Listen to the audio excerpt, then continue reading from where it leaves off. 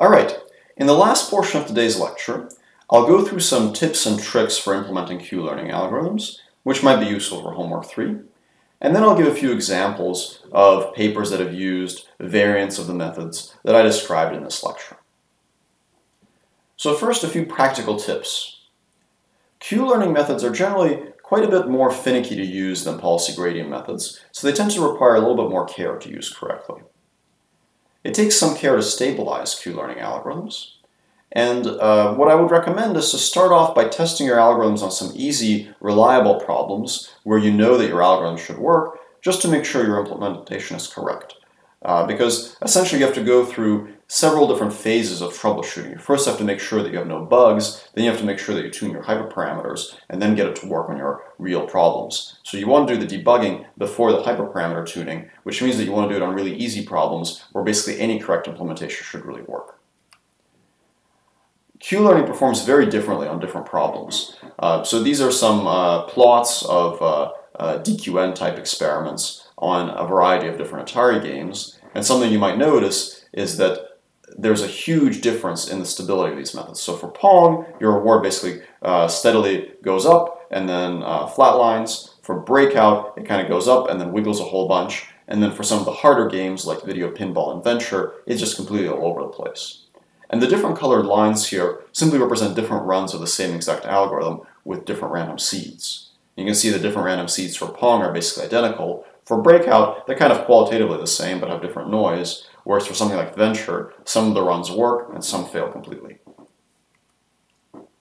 Large replay buffers do tend to help to improve stability quite a lot, so using a replay buffer of, of a size of about 1 million can be a pretty good choice. Uh, and at that point, the algorithm really starts looking a lot more like fit Q iteration, which is perhaps part of the explanation for its improved stability. Uh, and lastly, Q-learning takes a lot of time, so be patient. Uh, it might be no better than random for a long time while that random exploration finds the good transitions, and then it might take off once those good transitions are found. And many of you will probably experience this in homework 3 when you train on the Pong video game. Start with high exploration, start with large values of epsilon, and then gradually reduce exploration as you go, because initially your Q function is garbage anyway, so it's mostly the random exploration that will be doing most of the heavy lifting. And then later on, once your Q function gets better, then you can decrease epsilon. So it often helps to put it on a schedule. A few more advanced tips for Q-learning.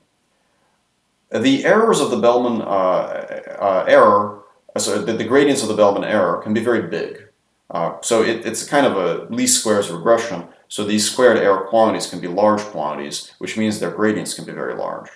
And something that's a little troublesome is that if you have a really bad action, you don't really care about the value of that action, but your squared error objective really cares about figuring out exactly how bad it is. So if you have some good actions that are like plus 10, plus 9, plus 8, and you have some bad actions that are minus 1 million, that minus 1 million will create a huge gradient, even though you don't really care that it's minus 1 million. Like if you were guess to guess minus 900,000, it would be it would result in the same policy. But your Q function objective really cares about that. And that will result in big gradients. So what you can do is you can either clip your gradients, or you can use what's called a Huber loss.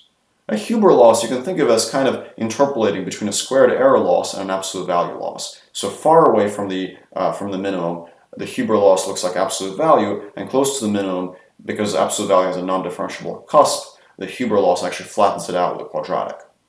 Uh, so the, uh, the green uh, curve here on the right shows a Huber loss, whereas the blue curve shows a quadratic loss. So the Huber loss actually mechanically behaves very similarly to clipping gradients, but it can be a little easier to implement. Uh, double Q learning helps a lot in practice. It's very simple to implement, and it basically has no downsides. So probably a good idea to use double Q learning.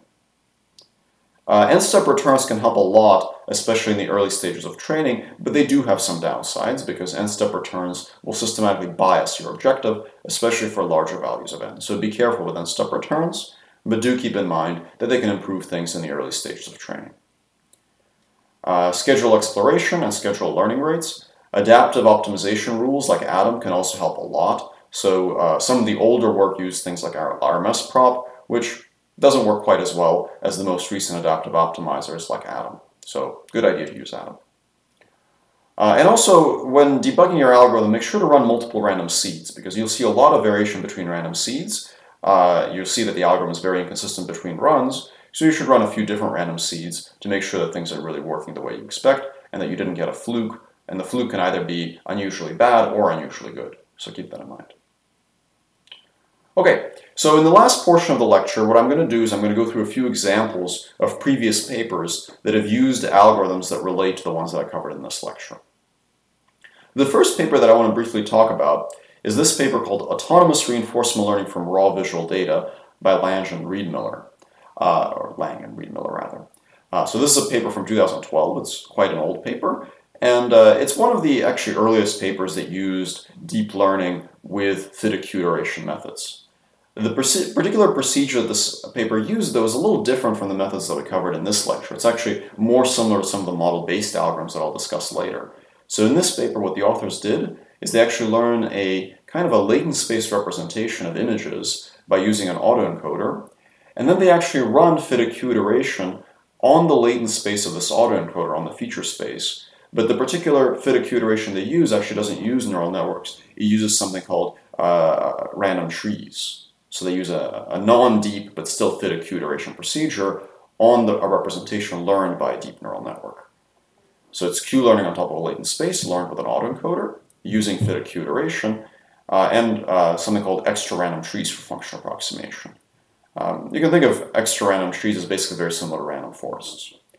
And the demonstration that they had in this paper, which was pretty cool, is to use an overhead camera to look at this little uh, slot car racetrack and then learn to control the slot car to drive around the racetrack.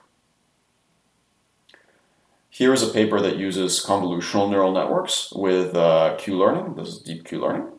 Uh, so this is a paper called Human Level Control through Deep, Deep RL. And this paper uses Q-learning with ConvNets, uh, with, replay buffers and target networks, and this kind of uh, simple one-step backup that I mentioned, uh, and one gradient step, uh, to play Atari games. And this can be improved a lot uh, so it can be improved a lot with double Q learning. The original method in this paper can actually also be improved a lot just by using ADAM, so that alone actually gets you much, much better performance. Um, but uh, for homework three, you'll be implementing something you know, fairly similar to this paper.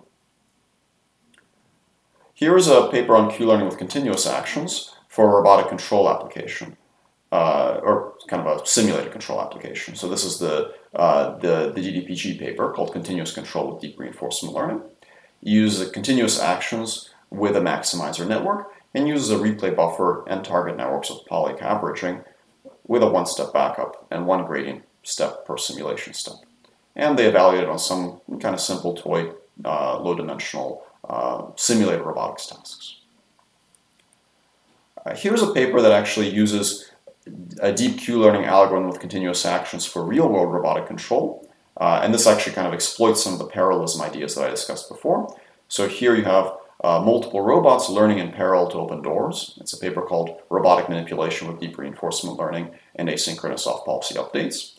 And this uses that uh, NAF representation. So this is a Q function that is quadratic in the actions, making maximization easier. You use a replay buffer and target network, a one-step backup, and this one actually uses four gradient steps per simulation step to improve the efficiency. Because uh, collecting data from the robots, I guess it's not even simulation, it's actually real world. Uh, collecting data from the robots is expensive, so you'd like to do as much computation with as little data as possible. And it's further parallelized across multiple robots for better efficiency.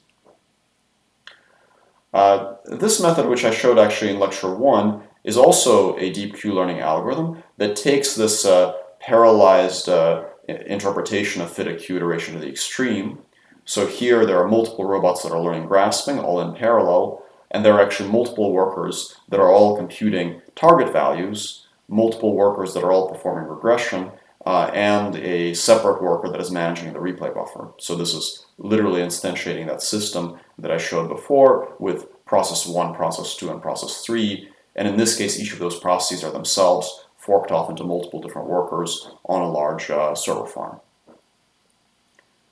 All right, if you want to learn more about Q-learning, some suggested readings, classical papers. This is the Watkins Q-learning paper that introduced the Q-learning algorithm in 1989.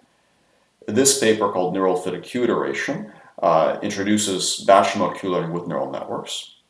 Some deep RL papers for Q-learning, the Lang and Riedmiller paper that I mentioned before, uh, the uh, DQN paper, this is the paper that introduced double Q-learning, This is the paper that introduced that approximate maximization with mu theta. This is the paper that introduced NAF. Uh, this is a paper that introduces something called dueling network architectures, which is very, very similar to the uh, NAF architecture, uh, but adapted for discrete action spaces. I didn't cover this in the lecture, but it's also a pretty useful trick for making Q-learning work better. Uh, all right, so these are the suggested readings, and you can find them in the slides. If you want to learn more, I highly encourage you to check it out. And just to recap what we've covered in today's lecture, we talked about Q-learning in practice, how we can use replay buffers and target networks to stabilize it. We talked about ge a generalized view of Q iteration in terms of three processes.